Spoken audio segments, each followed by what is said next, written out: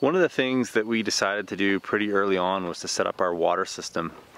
And so we did a quick water assessment on the property and realized that we needed irrigation water and we were also going to need a, a good water system to hydrate the animals that we're going to get, which is going to be probably some dairy cows, some sheep, maybe some goats. We'll see pigs probably. And so one of the problems that happens on farms is that people will set up um, few watering points and they're either they come in the form of dugouts or frost-free waterers, which means that the animals are always having to travel back to one or two or three watering points.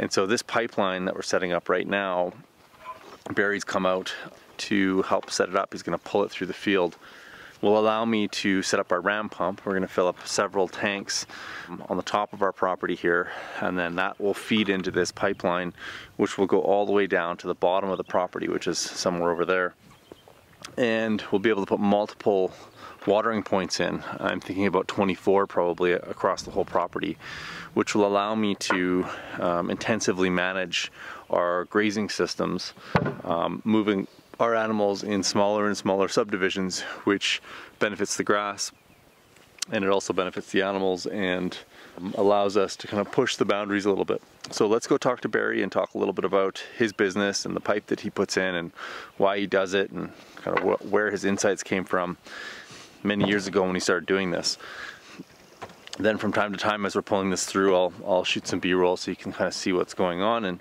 as we continue to develop the system then uh, I'll make little videos to show folks how it's all coming together. Alright let's go talk to Barry.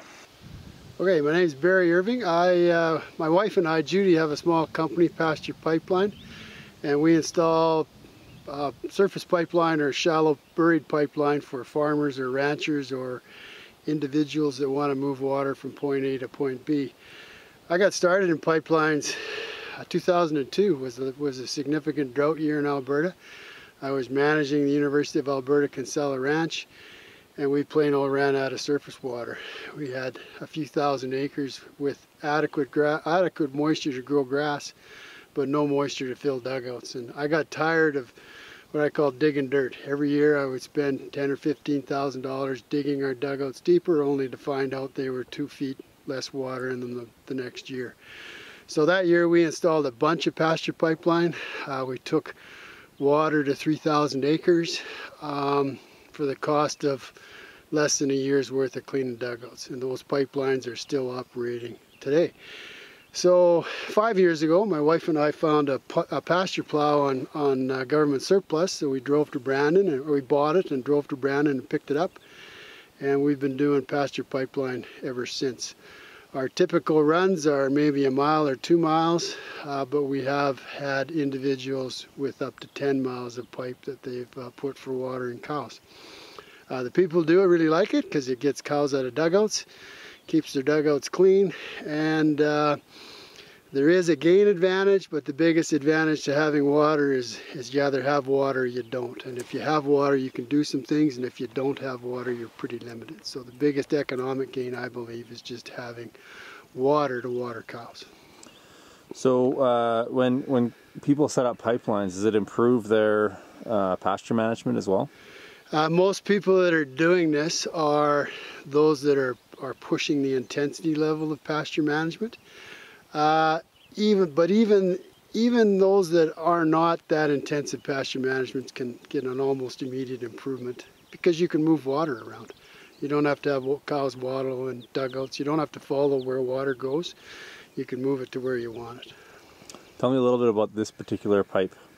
Uh, this pipe is, uh, there's two grades of, of this black pipe. And, and any, any pipe like this will work. Uh, I've plowed in pipe. I just we just finished a job a few days ago for a guy that bought some uh, some conduit. It's still the same same type of pipe. It's just a different color.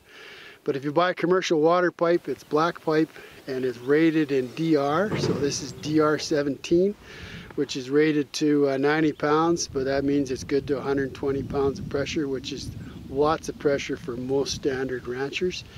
If you want to go higher, you can get DR13, DR11, and you're just going up in pressure, capability. Standard municipal pipe is 200 psi, so it's DR11.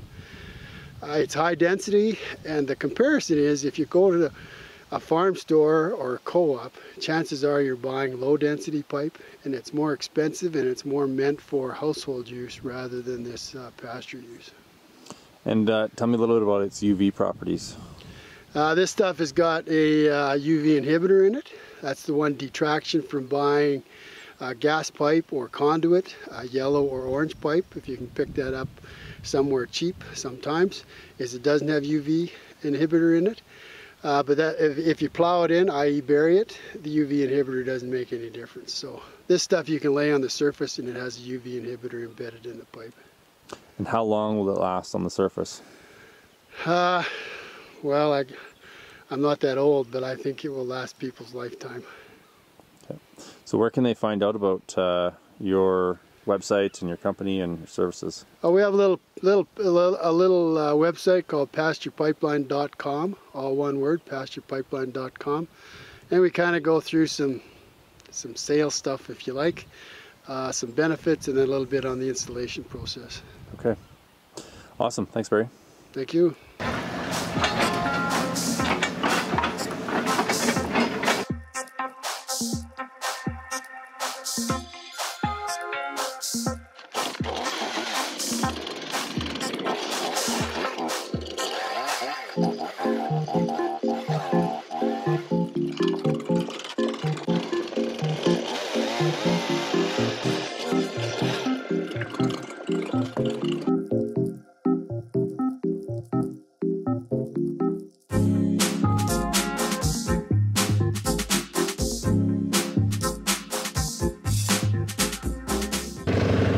Gonna drive down there and meet Barry and he's going to cut the pipe, fuse it a couple times, so we'll take a uh, video of that.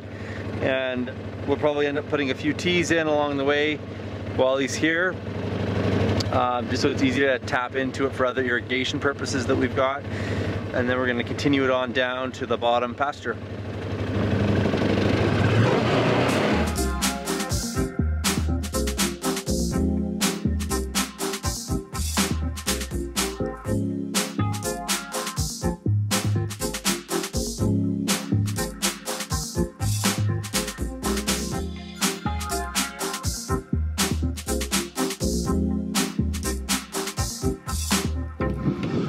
So I'm just parked in the corner now. My wheel's on top of the pipe.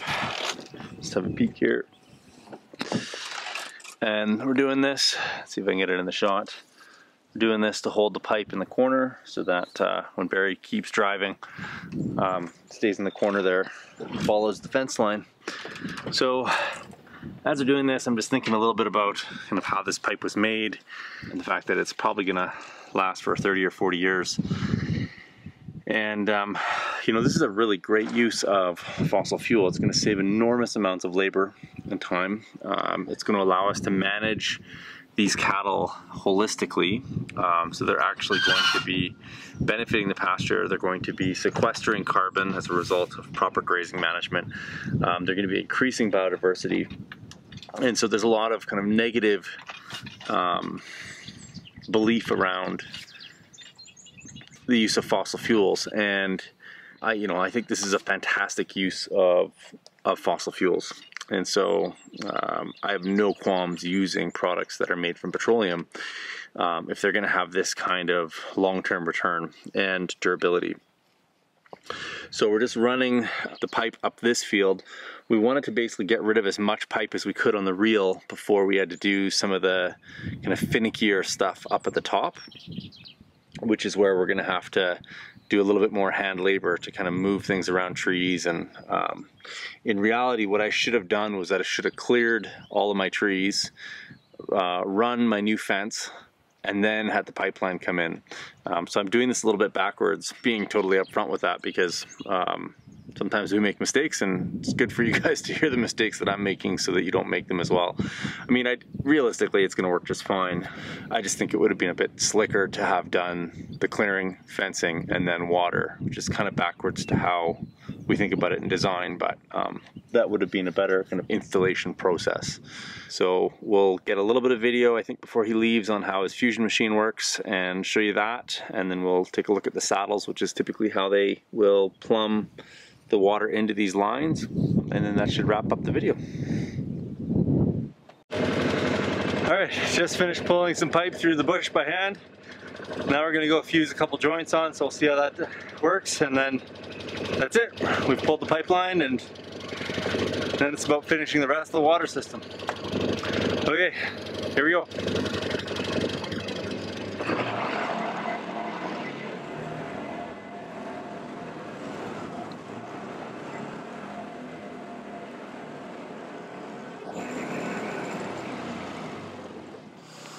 So this is the end point and under this cap is a threaded Inch and, inch and a half male, yep. And so we can tie this into a pump at the bottom. And what we're going to do is weld that end to this pipe.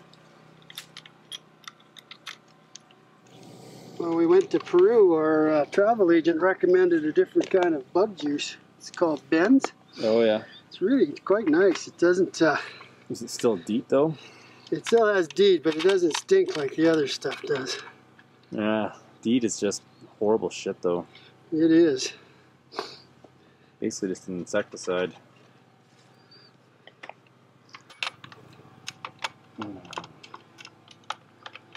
So is that other unit there just for squaring the end of the pipe?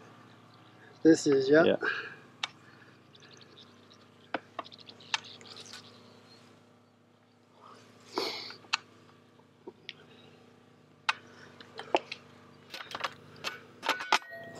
Oh, that's so slick.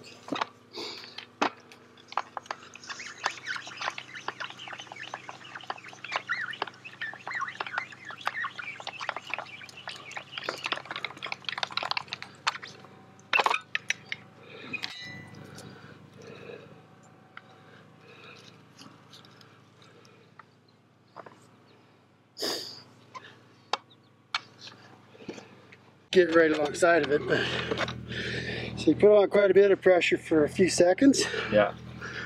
You see a bit of a bead develop Yeah. all the way around. And then no pressure. Yeah.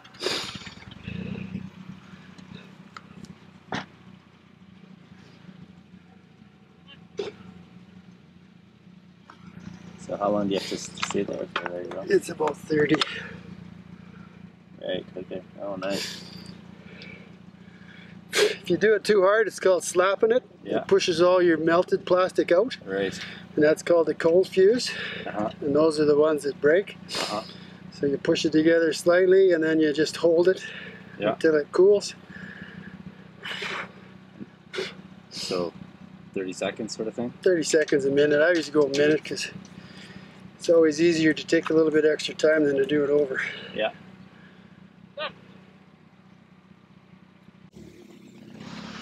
So this joint's all welded up now and see if I can get a picture of it here. Kind of see the joint. And so basically the little unit there melts the plastic and then the metal device pushes it together. Um, it's really cool actually that little metal device it actually reams the, the, the uh, plastics to make sure that the joint is perfectly square. So now we'll be able to uh, connect the garbage pump up to this if we have to uh, and fill those tanks up top with um, creek water if we need it, but we're gonna try and run the entire thing off of spring water because with these amazing springs, they just, then we can use that water for our irrigating our garden and um, we can use it for hydrating the, the animals um, and I think we'll actually drink it in our house as well. So we'll see where it goes. Okay, on to the next joint.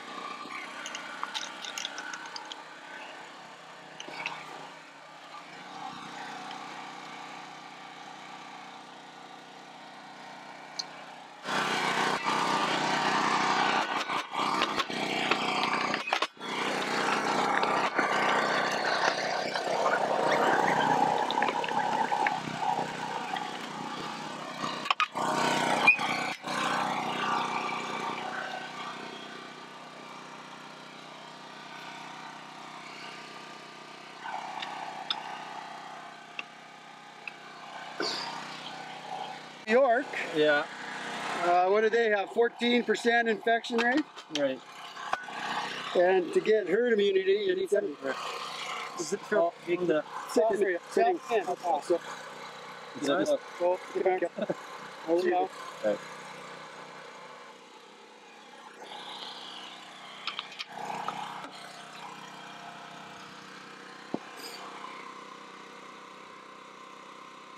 super slick? You get the same ring inside. Yeah.